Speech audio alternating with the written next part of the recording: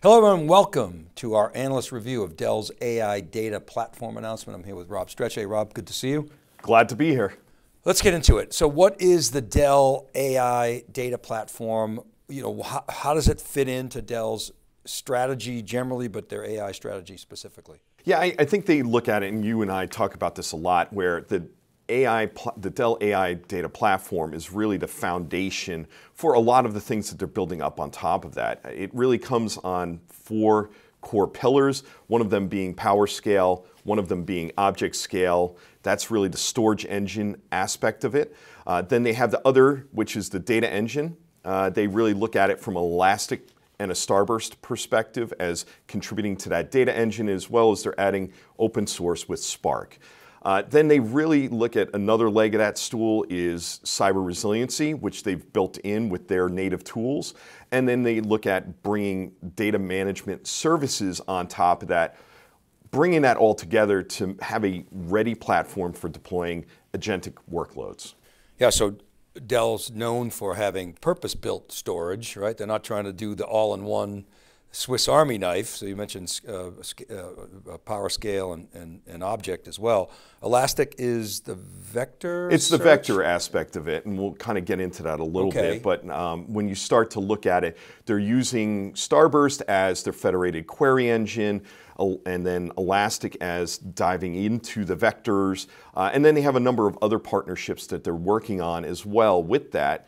Uh, but also, hey, I need another uh, engine on top of it. I want to use Python, so they uh, have the ability of deploying Spark into that environment as well. So essentially to me, it's like Dell saying, hey, we're an infrastructure player. We can't do all of this stuff ourselves. We got a partner for it. So you're familiar, of course, with the famous MIT study, which is, uh, you know, 95% of these, uh, these POCs fail six months after going into production.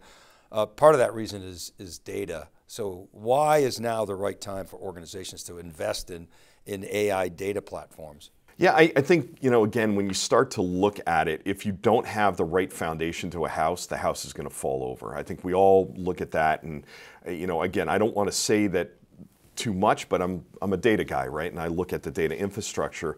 Uh, in fact, you know, when you look at adoption, uh, and Varun and some others have talked about this, is really how do you get from POC to production? If you don't have quality data that you, is accessible, you're in a tough spot. And with this, a lot of people have struggled with fragmented, solid, uh, siloed data across multiple different systems. And AI really uh, requires and operates across cloud, core, and edge. And I think what people are trying to do is how do we bring this together and bring the right tooling together? And this is where the AI data platform with people like Starburst and Elastic and Spark, they're trying to not only bring together what's in their kit, but across kit as well.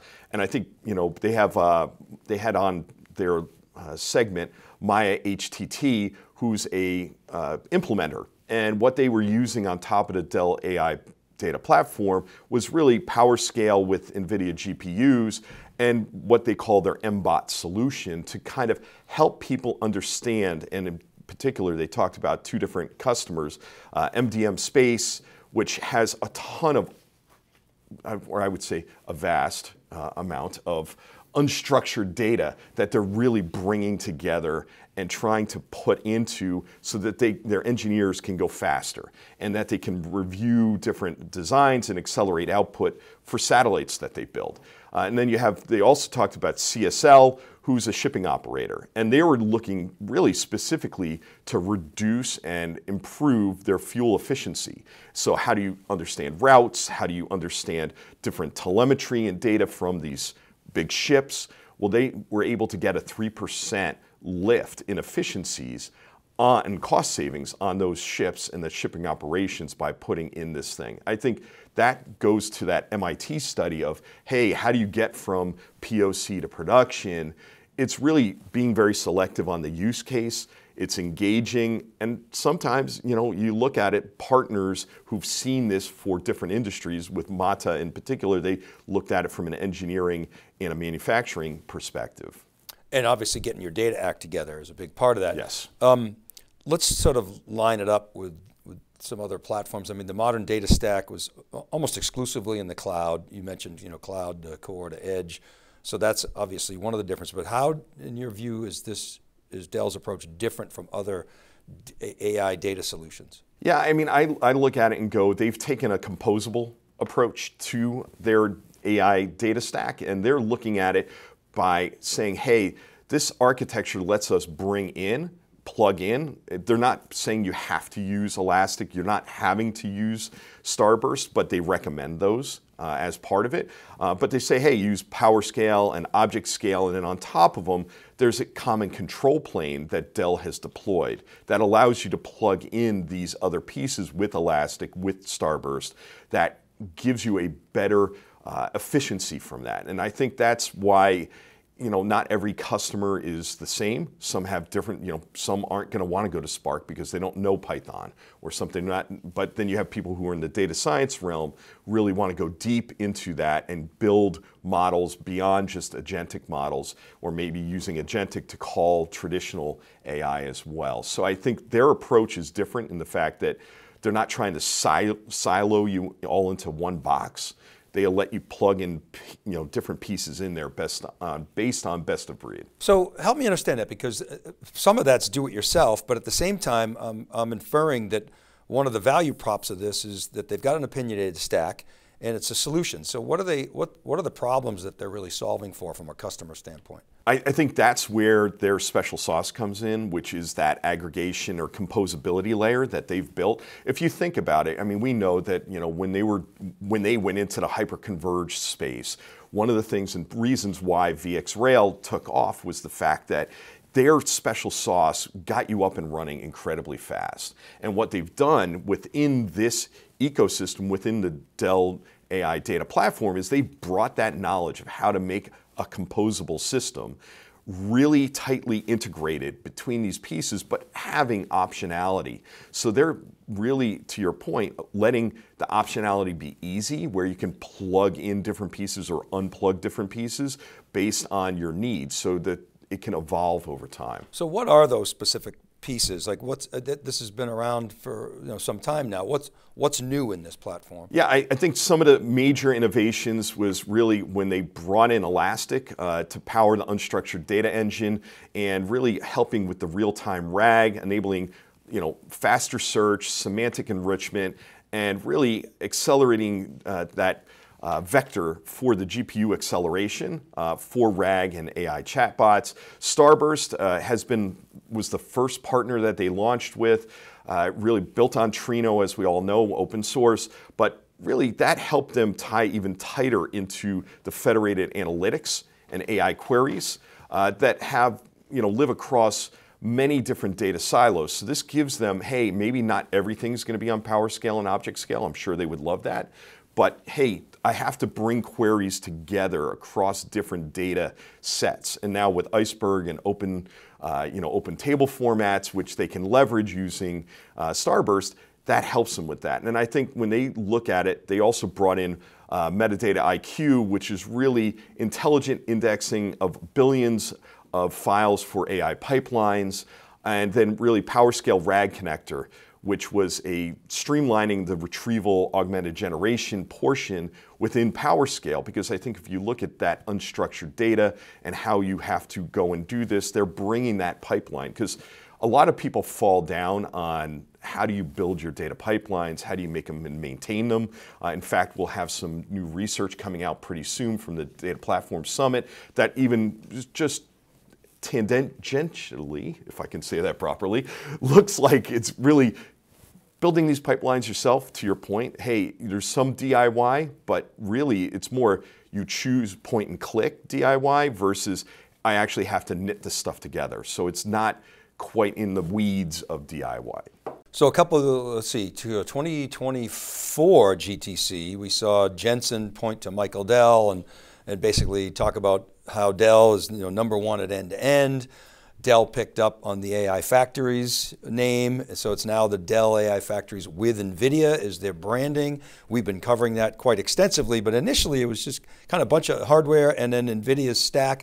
It seems like the stack is evolving. This is part of it. How does this fit into the AI Factories narrative? Yeah, I mean, I think again, you know, like you've talked about a lot, at it's uh, you have not only their own stack of stuff that they're bringing together, but Dell is really good at integrating in these different types. In fact, they've gone out and become storage certified with a number of the different uh, NVIDIA deployment models uh, so for the AI factories.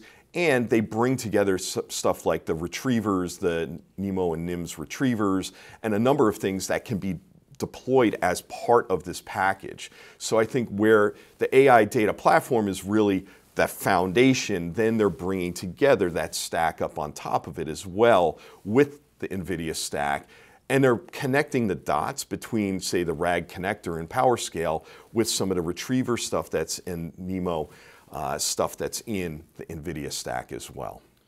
Rob, as you know, you know, AI is largely about unstructured data. That's the real challenge. Um, what is Dell doing there? Have they changed their sort of strategy around unstructured data? Are they just kind of bringing legacy you know, platforms and pointing them at AI? What, what are they doing there that's specifically sort of making sort of AI ready, if you will, and, yeah. for, for parallel processing? Yeah, I think when they look at it, they're doing a number of things to help them from a PowerScale and ObjectScale, really looking at different types of products for the right workloads, like again, PowerScale handling the high performance file-based workloads, uh, which really supports training, inference, and RAG. ObjectScale providing the scalable cloud native or S3 compliant object storage for massive data sets. And they're really looking at this as providing you know, unified visibility and flexible data movement without re-architecture. Because if you go and look at how these multimodal, generative, and RAG uh, AI implementations are going, they're using different types of data. You actually may have an object, but that object actually may be a file. And so when they look at it, what is the right storage for the right type of workload?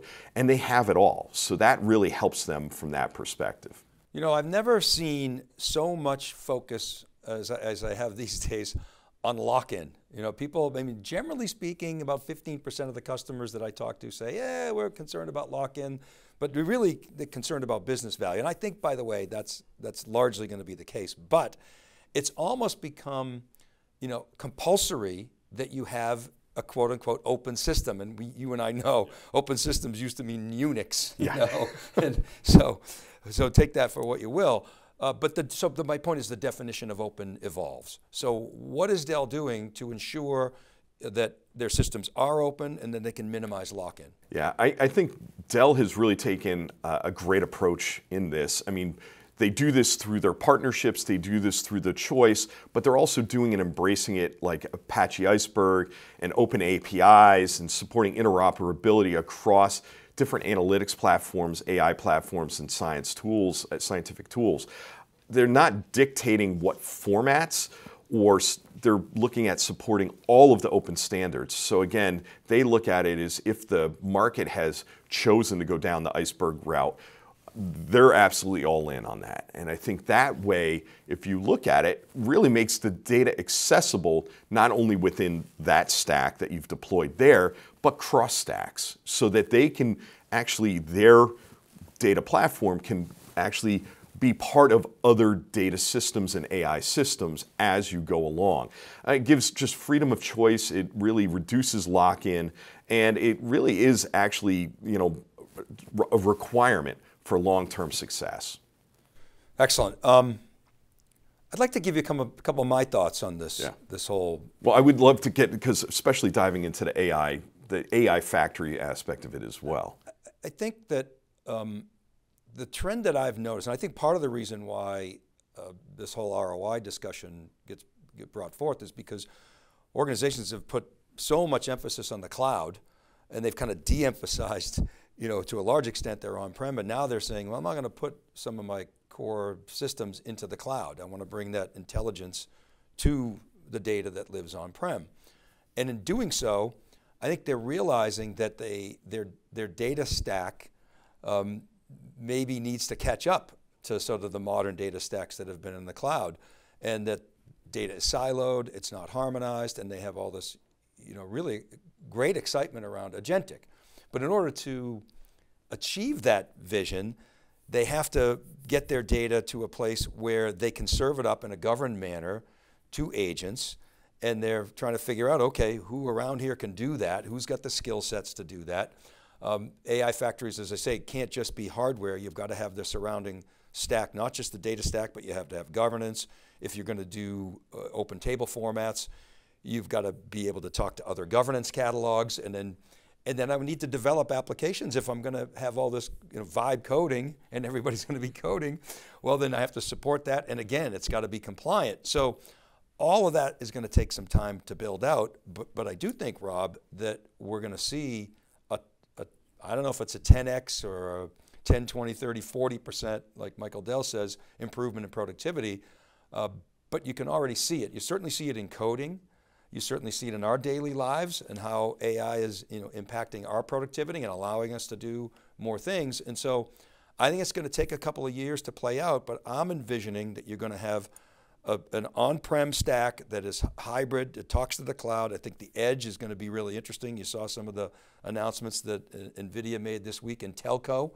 And so that whole thing with 5G and 6G is starting to emerge. And so I'm, I'm envisioning the cloud as this expanding universe and AI overlaid around, you know, we used to call it super cloud, but then agents being able to serve up um, those governed uh, uh, that uh, uh, to take advantage of that governed data and actually take actions with humans in the loop. I think that's going to be the case for quite some time. And I think AI factories are essentially, you know, the data center of the future. Your thoughts? I, I, I agree, uh, I, and I think again the foundation of them comes back to the data, right? I mean, data center. I mean, again, it's the center of data, and I, I look at it and go, I'm a big fan of hybrid and I think that hybrid and multi-cloud is going to win out. And multi-cloud meaning it's not just uh, a hyperscaler. Multi-cloud means an operating system. And I think that's really what I love about Dell's approach to this. Again, they didn't say, hey, we're solely this stack. Every, every piece of software is from us. You come in and you're, you're stuck in here. Uh, that choice and the ability to be able to go cross silo with their stack and integrate their stack into other stacks is what I think AI, you know, to your, your point, the AI uh, factories of the future are going to be, you know, really heterogeneous in that way, but they have to have the right solution underneath it because people are looking at, to your point about data, data is stranded in other silos. And it's, if you can go and make that actionable, which Dell can with their Dell AI data platform, they can go and make that actionable. That helps return a little positive ROI more than you would normally get if you had to say, I'm going to go move everything to the cloud and push all my data up there, which to your point, nobody's going to do that. There's something like 80% of the data is still stuck on-prem. And that data is going to be used for certain use cases. And probably, or funnily enough, it's going to probably be a higher ROI use case because that data is something that they've kept very close. It may be tied to certain processes that really there's people with certain knowledge that they have to get out and build into these agentic uh, lines. And I think that's why, you know, again, building these on-premise data platforms to bring things together and be able to be the source of truth for these AI systems is, is going to be key going forward. So it's not, it's not just about the LLMs, it's not just about you know, the models and the algorithms, it's going to be about what you can do with them. And I think this is going to be a real B2B boom. I think that's what's going to drive this. Right now it's all about the CapEx, but I think the, the revenue generation and the productivity from enterprises is going to catch up to that. Might take a few years. Yeah. Uh, but you know, our expectation is, you know, it's not going to be a straight line. And sometimes it gets a little bumpy, but overall, you know, we think that uh, that the hype is going to manifest itself into reality. So thanks, Absolutely. Rob. Appreciate your time. Well, thank you. Okay, and thank you everyone for watching our analyst review of Dell's AI data platform announcement. Until next time, this is Dave Vellante for Rob Strechay.